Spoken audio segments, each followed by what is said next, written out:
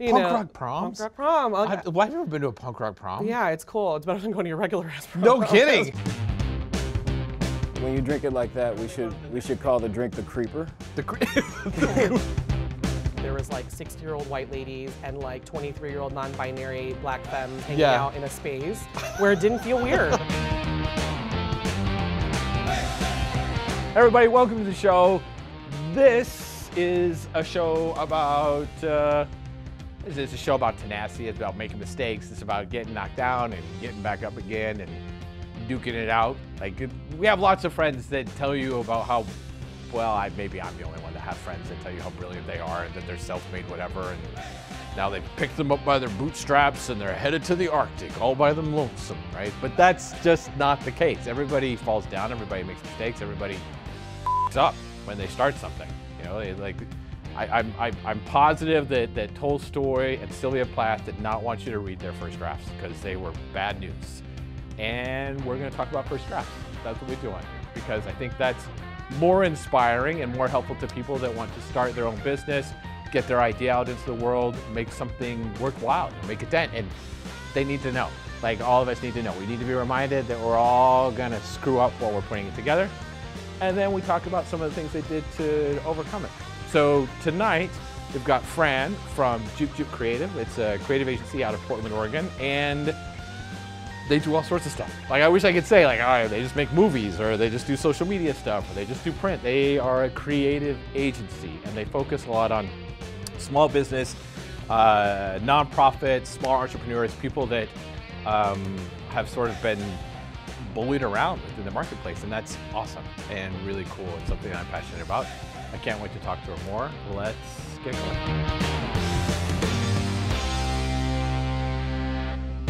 Hey everybody, welcome to the show. Uh, I've got Fran here from Joop Joop Creative out of Portland, Oregon. Thanks for being on the show. Thank you. Tell me more about uh, Joop Joop, what, what you do.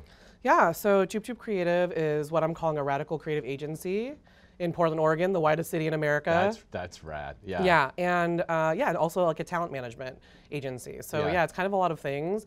I'm kind of like a producer at heart, but I mostly have always just done like events. Yeah. Um, I'm like a punk kid, and so always throwing shows and doing, you know, that kind of vibe. Yeah, so yeah, Uh, I've always done it, and I didn't really. All right. Wait, is there money falling Jack- out of my body Jack- right Jackson- now? I love this. Look, Making a penny amazing. tincture. It's a tincture made out of Dream come true. I was like, oh my god, money's happening right now. This is so good. yeah. So you do uh, like punk uh, punk kid. You did shows Yeah, and putting that stuff booking together. shows, yeah. punk rock proms. Yeah. you punk know, rock proms. Punk rock prom. I've, well, I've never been to a punk rock prom. Yeah, it's cool. It's better than going to your regular ass prom. No kidding. For sure. Yeah. Yeah. Um, yeah, we just, you know, always kind of just trying to bring community together in like Yeah. a way that is kind of like, I mean, anybody like me that was that kid Yeah. was probably not going to go to their prom. And I ended up weirdly enough going to prom. Yeah. Uh, only my senior prom, and I brought a 15-year-old rollerblader named Brad, which I'm not uh, that excited to share, but I just did that on accident. Wait, anyway. I love that his name's I know. Brad. I don't know why that makes it better. Because it a is- 15-year-old rollerblader named Brad. Yeah, I was a senior and I'm like taking a 15 year old to my prom, you know? it's, it's the thing. Yeah, I mean, I was like hanging out with punk kids and skater kids, you know? Yeah. So like taking a rollerblader to my prom was like not cool or ideal at all, but that's what happened, you know? Basically, after coming out of high school, I ended up, my first job out of high school was at Universal Studios, which was across the street because I went, I went to high school in Orlando, Florida. Wow. Okay. So I got my I got my first job there, and Mm-hmm. it was doing lights and sound at the horror makeup show. I was 17 years old. Wait, what's the horror makeup It's show like, in the? it's like you know at Universal Studios they have like yeah, like the stunt show. the stunt and show and all this that kind of thing. But yeah. this one is particular for like makeup effects and this kind of thing. And they had like an animatronic. Um, what is the movie where American Werewolf in London? Oh, yeah, yeah, So they yeah, have yeah, like the animatronic bust, that just comes like and it actually it- does a thing. Ah. yeah, it's just like all this kind of thing. So I was 17 years old. I got that job because I took an, a test, like an electrical test. Yeah. And I just aced it because I just graduated. And, uh, you know, I got it over dudes that had been working there as stagehands. So they were not that helpful or welcoming when I rolled up. Little punk 17-year-old coming in. Yeah. Yeah. And, you know, almost all I'm a woman and a woman Yeah. of color, right? Right, so it's right, all the right, things. right. Like, Yeah. um, I got keys. I got a big old ring of keys. I got a walkie-talkie. I had to take a weapons training class because there was a revolver that shot blanks in the show. what? Yeah. So I was just doing this ridiculous job. And I kind of never, I just never had anybody take me under their wing. Yeah. Nobody was ever like, oh, you're actually really good at this. You're great at this. They just were like mad at me. You're like a whatever. threat, I was like, a kind of threat, thing, right. right? Yeah. Unfortunately, I didn't last very long doing that job because Yeah. it was so unwelcoming and Sure. it was just really hard. And so it was kind of sad because I really thought like I was going down this road where I could like do theater, or I could do concerts. You know, I just really want to be a tech, like Stay a, a that, stage, yeah, a stage yeah. person, you know. Um, and that didn't work out. And so after that, you know, was kind of when I started really getting more into like activism in the punk scene and like doing that kind of thing. And I was Yeah. doing Food Not Bombs, which is like this organization where you go and Oh, get food cool. that can't be sold to like the public, like bruised bananas and this kind of day old Yeah. pickles and things like that. Yeah. And I was feeding or making food for the house for houseless folks um, two times a week for like three years. Oh wow. Um, Where was this in, in Orlando. Florida? In Orlando. Yeah, in Orlando. Yeah. So we were doing that, and that was interesting because you know you kind of have to learn how to cook in a way with stuff that you might not have. No, yeah, yeah. you know, you don't know. So it's very, it was very Iron Chef Improvise. style. Yeah, right? yeah, yeah. And it, and it, and that ended up leading me to going to culinary school. Oh my God. So I wasn't even expecting to talk about that. So you went from there then to culinary school? Yeah, I think I always had a love for food. My mom's an amazing cook, you Yeah. know, home cook. Um, and yeah, it just was like, oh my gosh, I think this is something that I want to do. Of course, my mom does not want this for me. I'm No. like, please pay for me to go to culinary school. It's like, no, like I don't want, you know. And then I ended up coming to Portland in like 2000 to move my best friend here at that Yeah. time, and had food, you know, at a restaurant, and I was like, this salad has hazelnuts and pears and blue cheese on it. And I'm like, my mind's being blown go because my salad in Orlando is like shredded cheddar and like two croutons and I don't know some white ass iceberg lettuce, right? And like some white tomatoes that are not right. You're totally right. right? Yeah, and so I'm like, right. what is this salad? This is like mind blowing. And I was like, well, I want to like I should move here if I want to go. You know, I went to culinary school. Like the food here is amazing. Yeah. So yeah, I was either like you know new, move to New York or L.A. right or Portland. Like, I mean, but it was like accessible and it was punk and it felt underground and it felt like Still kind of does. and it- yeah, and it's like felt like the community of people that I kind of wanted to be around, right? And Yeah. because I knew I was like you know very creative person, so I ended up moving to Portland and going to Le Cordon Bleu to get my like business hospitality Oh, management sure. thing because I knew that you know I wouldn't be able to get a job at a restaurant in like a higher paying position, or if I wanted to open my own restaurant, I should probably know how to do that part know too. how to do it, yeah. Yeah, so I ended up moving here and going to school for that yeah. lo and behold, my husband, who was my boyfriend at the time, Yeah. um, got a job at a local screen printing shop, and the guy that owns that shop was famous for making that "Mean People Suck" sticker. Yeah, I know what that is. Yeah, Yeah. it's like the smiley face. Mean people suck sticker? Yeah, that was him. it's like we made a lot of yeah, those stickers. yeah. The time, Andy was doing uh, T-shirts and stickers and posters, and had like a limited edition toy store also. Yeah. like it was during that giant robot heyday vibes, right? Yeah, yeah, yeah. So he was doing a lot of stuff, and then eventually he was just started wanting to sell uh, off the different parts of the of the of the business. Yeah. So we kind of got the flat stock part. So then he we opened up the screen printing shop called Seizure Palace in 2007. Caesar Palace? Seizure Palace. Seizure. I know. it's a silly name. It's a name of. That's great. I mean, I you won't know. forget. Well, it's hard. Well, the thing is, it's like one of those names where like people are like, "Excuse me." Oh. They think I'm saying Caesar's Oh. Palace. Oh, yeah, yeah, yeah, Right, yeah, and then yeah. like, and then I have to spell the word seizure about a Yeah. hundred times in a day. It's still It's still around, so- yeah, still yeah, yeah, totally. So 12 years now Wow. doing that, and so we do flat, we specialize in flat stock. So we do uh, custom uh, art prints, uh, record covers sometimes, um, and movie posters. So we've been doing that forever. Wow. Which is really awesome, and having like a mom and pop type business with my partner, and That's amazing. yeah, it's really cool. No. I'm surprised we haven't killed each other at this point. Like backing up just a little bit, because I'm really fascinated by the trajectory that you took. Yeah. So doing the Cordon Bleu, and doing those types of things. Did you, growing up, like with your your your family, influences, friends, other people, did they have also this sort of? You know, my mom has like a really kind of has like a hustler spirit. And Yeah. She just is like a really hard worker, and she was a nurse. She would work these 12-hour shifts, you know. But to make extra money, she would like make Thai food and package them up, and then sell them to like the nurses and the doctors at the hospital because they were so sick of eating Oh. the food at the cafeteria. And then when we lived in Chicago, she would go to like the Vietnamese part of town and go to the gold shops there. And like hustle, like hustle good prices on gold chains, and then And then bring those and sell those? them at the hospital too. Like my mom was like, Wait, your mom? Th- this is amazing. Your Yeah. mom's selling gold yeah, and Thai food. to nurses and doctors. Can you smell what he's doing? I, I smelled it about five minutes ago, and I- I, was like, I was gonna turn around, but I to be like, because you know. well, I'll find I'll find out. Jack, how how close are you to uh, to the drinks? Oh, I'm just playing with the garnish. The drinks are ready. Gosh, Oh, the drinks so are ready. good. He's just Yeah. playing with garnish. It smells so good. Yeah, All right, so- then, uh, uh, Jack, what are we drinking? Oh, well, I have a, a very a very lovely drink called Hollow Earth, served in a globe with a tree on top. I see it now. We've I got thought it was like a prop, but now I realize I'm gonna drink that. Yeah, yeah. There's, Oh my there's even a straw and stuff. So uh, we've got fresh mandarin juice. Um, San Pellegrino makes a entrant into the spirit world by making an aperitivo. So it's a non-alcoholic version of Campari. Oh, fun. Um, and then you've got uh, Fentimans Tonic. They're pink grapefruit with uh, terpenes from uh, House of Cultivar. oh my gosh. House of Cultivar. This is gonna be Yeah. the Do fanciest you know drink what I've House of had. Cultivar is? I, I don't. I don't. I don't know. It sounds Whatever awesome. it is, I'm buying it. I know. I know. like, welcome to the House Sure, of they would Cultivar. love to That sounds good. that. Welcome to the House of Cultivar. Non-alcoholic, so low to no doing that. ABV. Yeah, here. get Romsey. But it's fantastic. Oh so underneath here is uh, a bruleed mandarin. Do I get to eat that? Yes, you do. Do I eat it before or after? Oh, Whenever you want. oh. I don't know what. This is like the fanciest thing I've ever seen in my life. I cannot even. Like, where did you even get this like alchemy set for? Like, I mean, for once, am I speechless? like, uh, you- Are we both can't talk right like, now? keep talking, keep talking, keep Keep talking, talking. keep talking. Oh my gosh. Um, all right. what is this? What is this? What's the branch?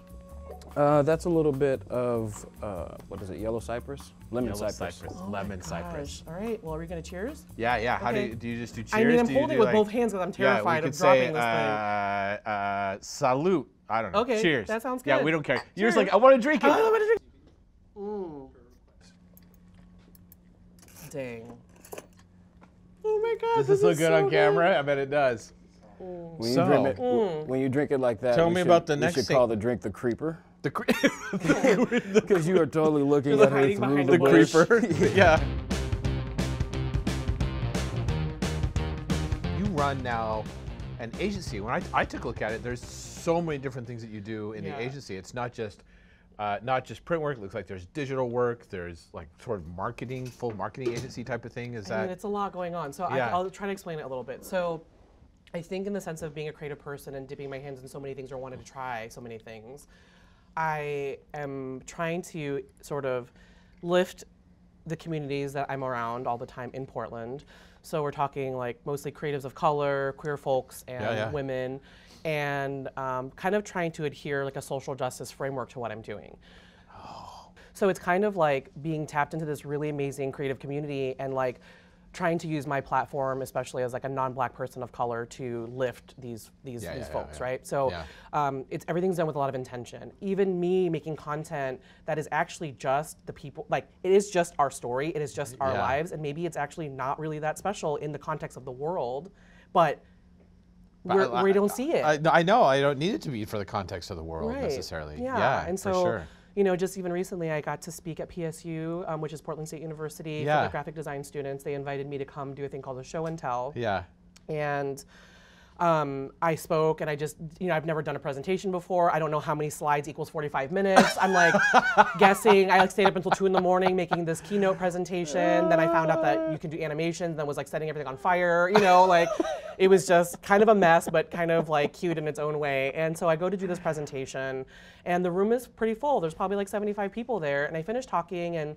I think that I did a pretty good job of engaging folks, and I kind of wish I was a little bit ner- less nervous because I think it could have been even funnier. Yeah, yeah. But it was just, it's kind of. But they're like rooting for you no matter Yeah, what. Like you get up there. Yeah. Yeah, and so then at the very end, I have a couple people waiting in line to talk to me, and there's this amazing kid, and he's like, you know, I live in Seattle. I've been in Portland for two months trying to find a place to live and find work, but I do like tech stuff.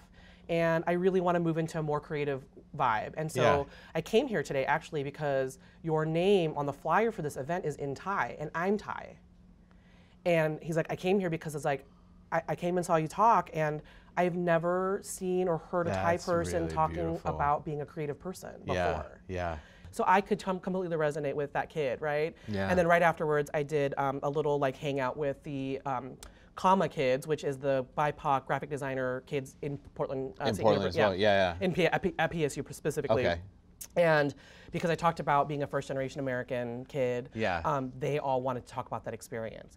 And almost like everybody's kind of talking at me because everybody is just so excited that there's Mm-hmm. like this person that is talking about something that resonates with them. And they even said like most of the time when we come to these show and tells, like they rarely ever have a person on this that's brown or black either. Yeah, yeah, yeah, You yeah, know what I mean? yeah, yeah. So I think out of that one speaking engagement, it definitely made me feel like my words mean something, taking up that space means something and is Yeah. important. Yeah. And I feel like way less nervous about doing stuff like this now because I just know that someone's going to see this Oh, absolutely. and yeah, for really sure. be able to connect with what it is that I'm doing and what Yeah. I'm saying. So that feels really great. Yeah. Um, but yeah, I mean, basically, you know, I can produce events. Um, I actually been getting hired a lot by local nonprofits and like. Uh, to kind of make their parties a little bit more exciting, because who's Like, been to like a you- like- nonprofit gala or I auction, know, like- or you know, it's like. But actually, I did one on Wednesday night Yeah. uh, for the Women's Foundation of Oregon, and they hired me to do this amazing, like, sort of olive, olive branch uh, event because they hadn't done one in a couple years. Yeah, yeah, yeah. And yeah, so it's like, uh, you know, we had a self care station, we had tarot card reading, we had a chair massage, we had DJs, we had bands, we had a professional like headshot pop up station. Because I'm like, everybody gets those photos at parties where it's Uh, like yeah, a fuzzy totally agree. mustache. And like, what are you gonna do with that photo after, yeah, right? and so I'm like. All these women are gonna come to this event. Let's get them a photo they can use on their LinkedIn or Yeah, whatever, social right? media, wherever media, it's at. right? So Yeah, for sure. actually taking something back with you. Yeah. And we even offered uh, free childcare too. In the 15 years that I've lived in Portland, I had not really been in a room where there was like 60-year-old white ladies and like 23-year-old non-binary black femmes hanging Yeah. out in a space where it didn't feel weird. Everybody was just chilling and having I the best love that. time, right? And we're raising money for a really good cause. Yeah. Um, and so yeah, that's kind of what I try to do in, in everything that that that, Yeah. I, that I curate. And I, I I love curation also. Yeah. So I'm always trying to be really intentful, like you know, with what I'm doing. So Yeah. um, so yeah, so it's music videos, it's photo shoots, it's events. Everything you're doing, did you just tack on different things like as, as they became necessary, or like somebody offered you like, hey, I know you only do this, but could you do this creative thing for us as well? And then you would do it, or are they things that you loved and then you just pitch yourself and get out It- to the it's the- just the basically market? like me knowing people that need stuff. Like I, I can see I can see my friends working at whatever it is that they're doing, Yeah. and seeing that they don't have access or money or the privilege to be able to make things for themselves. And then out of that, then comes like the talent management side. And so it's not necessarily like models and actors and this kind of thing, but it is like crew. It's videographers, it's DPs, it's gaffers, it's grip, Mm-hmm. Yeah. it's um, art directors, So it's do you have creative directors. do you have a crew that I mean I guess you don't necessarily you hire them out that they're not like beholden and you're like No, no, "Oh, no, no, yeah. let me hire them out to the masses in Yeah. the northwest Yeah. um, but do people come to you for that type of like hey I'm looking for a gaffer hey I'm looking for Well, that's somebody the idea. you- so yeah. this is what's happening. So in Portland right now, you know, diversity, equity, inclusion (DEI) Yeah. is very like trending. Yeah. Everybody wants to now be like, okay, I want to make my workforce a little bit more diverse and Yeah. blah blah blah. Yeah. And so this is what's going to happen. So people are doing DEI work now. By the way, I love the way you just said that, which is even better. Yeah. Like this is what's going to happen. This is what's going to happen. Not like here's the plan or here's the idea no, no, or no. here's what I'm this like, is ha- it's happening. no, no, this is no, what's happening. This is what's gonna happen. This is what's happening. Yeah. I'll preface this with the fact that most of my life I've basically felt like I've been living in the future. Yeah. Like I'm constantly like I'm not here right now. I'm not even here right now. Oh. Just got weird, huh? You're like, wait a minute, what's happening right now? I'm not even here I- right now. I'm not here right now. You keep drinking that. Yeah, I'm You're gonna good. drink this. Everybody now is going to sign up for their DI consultation. They're going to try to be more aware all this thing's going to happen. Yeah. And you know, maybe in the next year, two or three, people then that information hopefully will actually start seeping in. Yeah, Right. yeah. And people will actually start unpacking their and start figuring things out and how to make their communities Yeah. better and support communities of color. and, You know, all these things. So Yeah. it, once that happens, they're going to be like. Huh, where are all the creatives of color that are the DPs and the editors and the makeup Yeah, yeah, artists yeah, and the yeah. stylists and the prop people, right? Where where are they? Where like okay, now that we're supposed to hire these people, where are they? Yeah. And I'd be like, They're right here. right here. They're right here. So my idea is that I'll charge like a 20% agency fee, just like any other, Yeah. right? handling the contract, scheduling, doing oh, all the things, right? amazing. But here's the the radical part. So when I was doing research for writing that grant to make that film, I like realized, oh, uh, Asian women make 70 cents on the dollar. But I thought a really good idea for the for the talent management side would be then if you wanted to hire that person, that I would tack on that percentage as an extra fee to kind of make that uh, pay gap more equitable. Oh, yeah, yeah, yeah, But it's yeah, yeah. also that client showing up as an ally and actually putting their money where their mouth is, Yeah. and actually That is radical part. Participating in it in Absolutely. this other way. Yeah. It's a lot of this sort of like future thinking, kind of like trying to think like how can I build this community? Like what does it look like if you signed on to be a part of my agency and I got you know your rights training, maybe a self-defense class, you know, maybe some radical financial literacy. Then you have have Yeah, so it's a lot of us kind of pitching in and like kind of putting our best foot forward and Yeah. saying we want to lead with best practices. We want to be intentional. We want to be thoughtful and we want to be authentic about what it is that we're doing. Yeah. Um, and so yeah, I mean, it's like I don't have to worry about my work not being great because it's going to be great regardless because it it, sounds- can't yeah. it can't not be because Yeah. of all the different lenses that are a part of making it. there's a lot of uh, a lot of writers, a lot of artists, a lot of musicians. Um, they they all say the same thing. Um, when somebody asks them, "Hey, how can I do what you do? Yeah. Right? How can I become a writer? How can I become?" And a lot of times they'll say it, it's like they're selling the negative. Yeah. They say if you can do anything else, Yeah. do it Yeah. because this is not easy. Yeah, it's not easy, and I know that you know, I yeah, I struggle. It's up and down. You know, there was like a moment where you know I had a friend kind of give me some tough love and give me you know, and I was like, I actually you know I did start crying because it was hard to hear. It was like, you know, she was just like, your cart's a little bit in front of your horse. You know, you're making all this really beautiful content. You're making these music videos. You're doing all this stuff. Right. But like, you don't even really have a solidified mission statement written Yeah. right? Like you don't really have X, Y, Z, these things that you kind of need as like the foundation, right? Mm-hmm. And so I feel I feel like maybe I got it out of my system a little bit last year. Yeah. Um, and then this year, like I said, will be much, much more business forward.